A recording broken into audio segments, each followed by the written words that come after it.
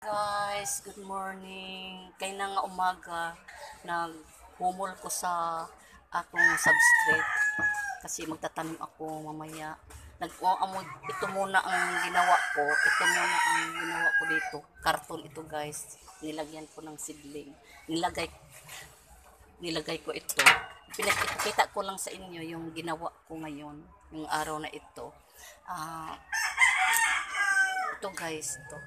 Ito lang ang yung yung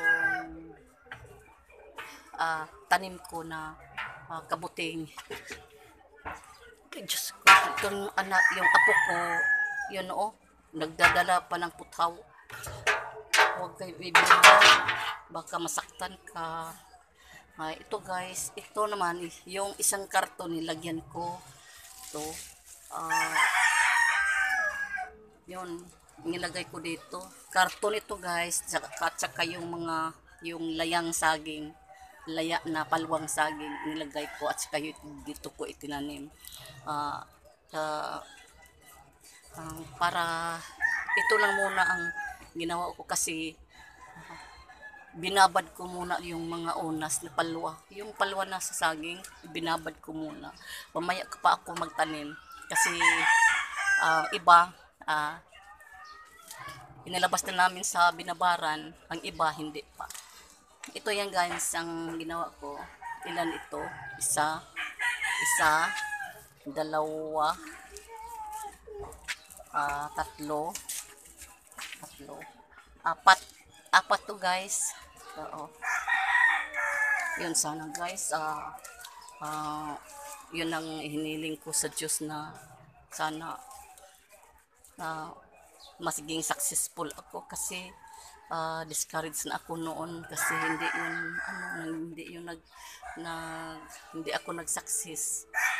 Nahirapan ako doon sa ano sa oyster kasi ang dami dami bumili pa ako ng ano ng 6 by 12 003 yun at saka yung substrates ng rice hull yung yung yung kokopit ah hindi pala pa, hindi yun maganda para may acid ang kokopit Ah, maganda lang yun kung kung kung konti lang ilagay.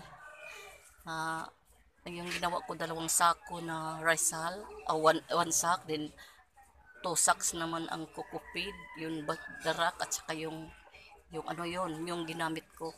Tapos bumili, bumili ako nito ng yung lutuan yung baril so guys 1,000 to guys.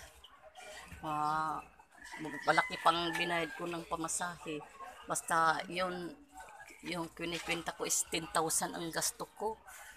Plus sa ano sa seedling. Ah, ito naman guys kunti lang ang ano simple lang ang pagtanim. Hindi hindi arte. Kasi organic kasi ito eh. Ah, kahit yun ano ah, maganda yun. Ah, kaya kung kayo guys, kung wala kayong mga ginawa, nandoon sa province province natin, magtanim kayo. Sana ako makauwi ko sa amin, doon ko magtatanim din ako. Kasi madami doon ng straw, ah, straw, ha, straw hole, ay straw hull. Ano, yung nasa humay, ah, yung straw.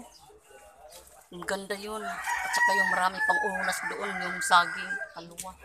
Ito lang ang nagawa ko ngayon guys. ah, na wala akong inilagay na kahit anong madali kakao kasi mainit ngayon eh.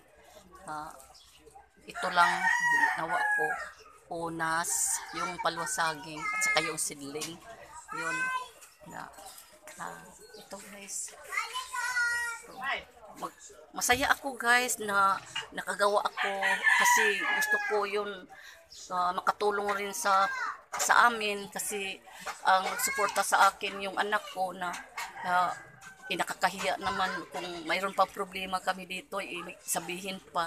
Kaya gusto ko gusto ko guys gusto ko guys na na maging successful ako kahit ako. Hindi pa naman hindi ako sanay na na hum- humingi. Oh.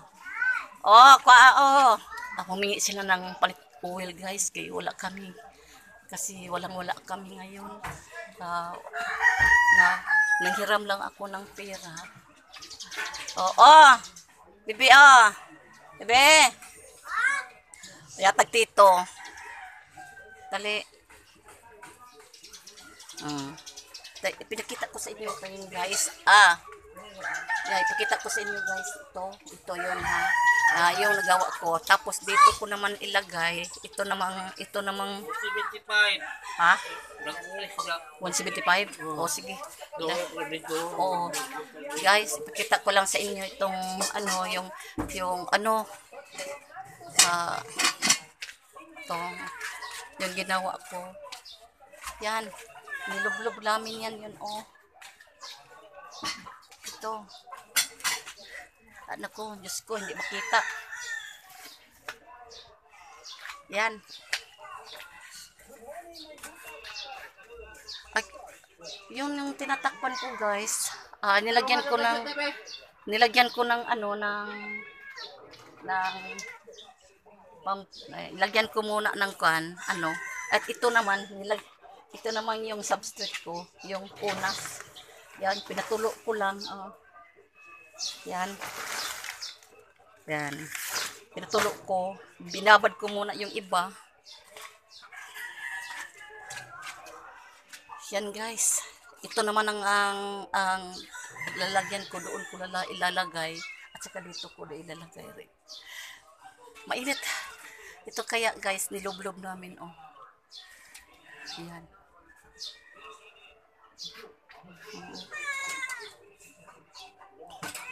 Kahit babae ako, babae ako, babae ako, marunong din ako gumawa na hindi ako gumawa, hindi ako umasa sa Mr. ko at sa mga anak ko.